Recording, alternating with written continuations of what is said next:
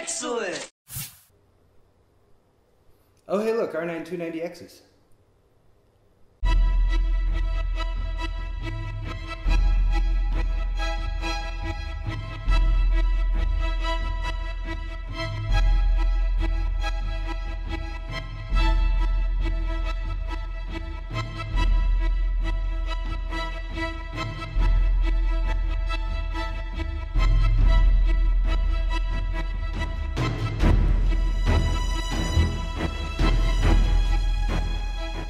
Guys and welcome back to Paul's Hardware. Today is a very special video because I've been working my tail off for the past few days benchmarking this video card right here. This is the AMD R9 290X. This is the Hawaii GPU based video card that was announced in Hawaii, coincidentally enough, uh, just about a month or two ago. And we've been waiting for it to come out.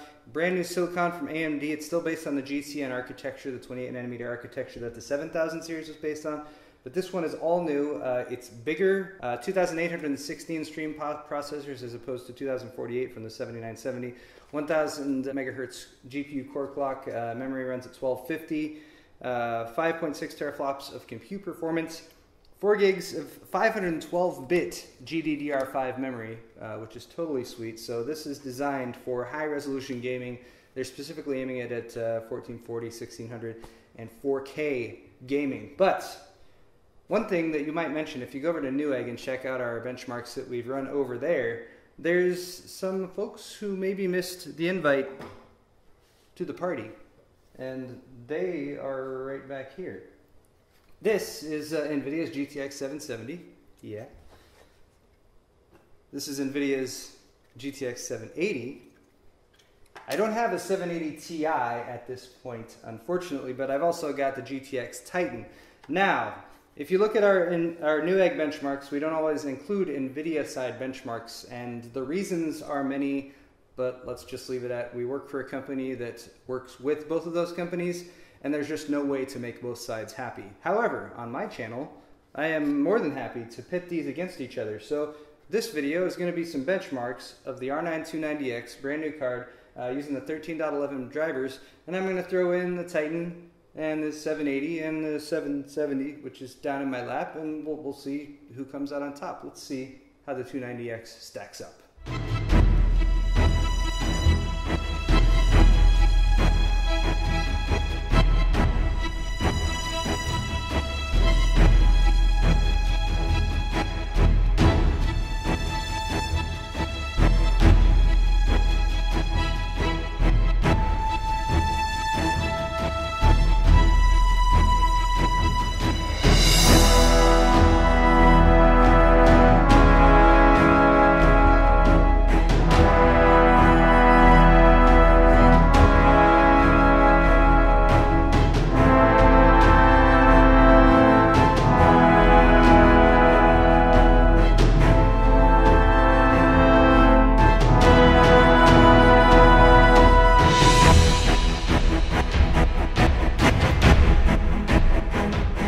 There you have it guys, some benchmark comparisons. And in closing, let's see, the 290X does a fantastic job. Uh, the 770, first off, is priced at $400, at least as of the filming of this video.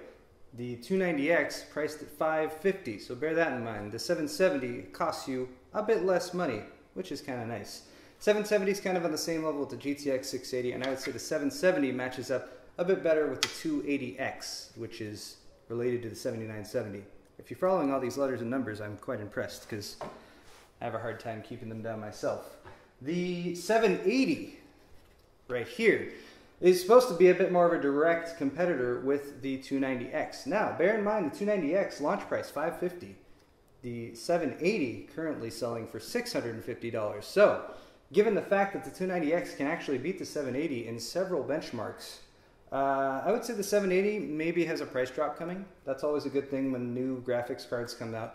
However, the 780 Ti is poised on the horizon to hopefully jump in and take the 780's place as the almost best of the best card from NVIDIA.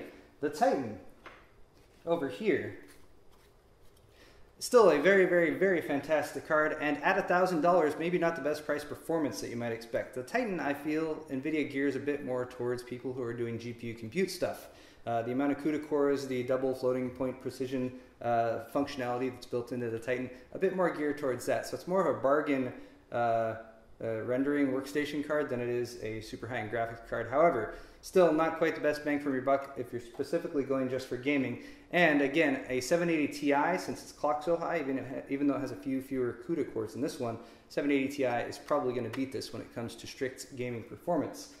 But there you have it. A quick roundup of all my benchmarks that I currently have available to me, except maybe two-way crossfire configurations. We're gonna have a video on Newegg for that too, so you can check that those numbers out. And if you guys enjoyed this video and you want me to bring you comparison benchmark numbers when we do the, the, the benchmarking over at Newegg, I would be more than happy to. Please leave me a comment down in the comment section below to let me know if that's something that you would like to see. And until next time, hopefully we see, have some falling GPU prices, which is always a good thing for everybody. The 290X, fantastic, fantastic performer. One thing I did want to say, I've been benchmarking this for the past few days, and I've uh, had the privilege now of working with uh, several pre-release video cards. Super smooth uh, testing experience with this card. Uh, the drivers were pretty much functional right out of the out, right out of the box, or at least the download that AMD sent me. And apart from a, a GPU Z glitch that they actually fixed the day before launch as well, or they sent out an update to it, everything was like totally rock solid. So I didn't even have any. The only thing things I encountered was when I was overclocking, and that's kind of goes without saying anyway. But that's all for this video. Thank you guys so much for watching. Don't forget to leave a comment and a like or a dislike down in the uh, feedback section below. We'll see you all in the next Paul's Hardware video.